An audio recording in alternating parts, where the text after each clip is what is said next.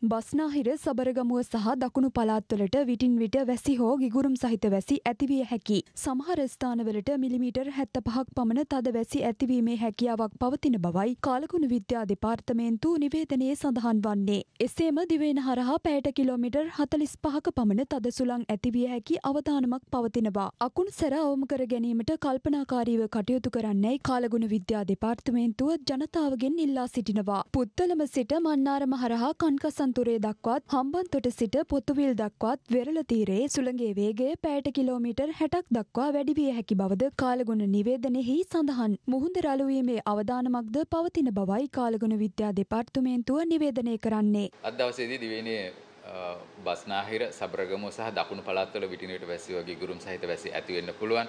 විශේෂයෙන්ම අපි ගත්තොත් රත්නපුර ගාල්ල සහ කළුතර දිස්ත්‍රික්කවල මිලිමීටර් 75ක පමණ තරමක තද වැසි අද දවසේදීත් බලාපොරොත්තු වෙන්න පුළුවන්.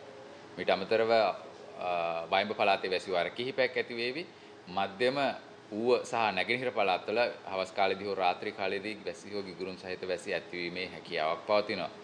විශේෂයෙන්ම අද දවසේදී දිවයින හරහා විටින් රහමන් පැයට කිලෝමීටර් 40 45 පමණ තද සුළං පැවතිය හැකි බැවින් ඒ පිළිබඳවත් අවධානයෙන් කටයුතු කරන්න කියලා ජනතාවට මතක් කර සිටින කැමැතියි.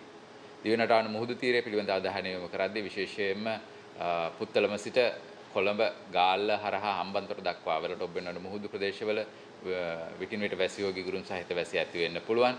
ඒ වගේම සුළං ප්‍රධාන වශයෙන් නිරිත දෙසින් හමාවේවි සුළඟේ වේගය සාමාන්‍යයෙන් පැයට කිලෝමීටර 25 35 අතර අගයන් ගන්න පුළුවන්. කෙසේ වෙතත් මන්න පුත්තලම සිට මන්නාරම හරහා කංකසන්තුරේ දක්වා සහ හම්බන්තොට සිට පොතුවිල් දක්වා වලට ඔබෙන්නන මුහුදු ප්‍රදේශවල සුළං වේගය අද දවසේදීත් විටින් විට පැයට කිලෝමීටර 50 60 පමණ දක්වා වැඩි විය හැකි. එවිට මුහුදු ප්‍රදේශ රළු ස්වභාවයක් ගන්න පුළුවන්. විශේෂයෙන්ම මේ පිළිබඳව දීවර සහ නාවක ප්‍රජාවසිය කටයුතු මෙහිමේදී වඩාත් අවධානයෙන් කටයුතු කරන්න කියලා මතක් කර සිටින්න කැමැතියි.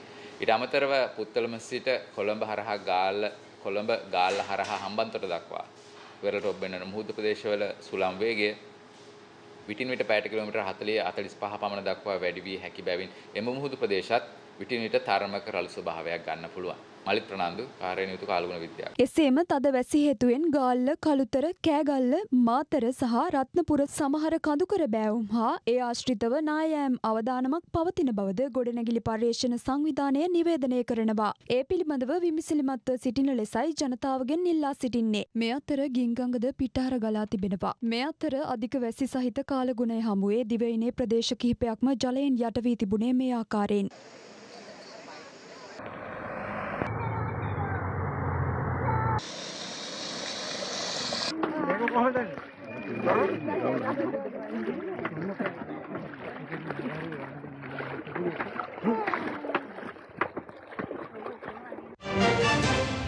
රටේ ලෝකෙ සිදුවන උණුසුම්පුව දැනගන්න සියත නිවස් YouTube චැනල් එක අදම සබස්ක්‍රයිබ් කරන්න.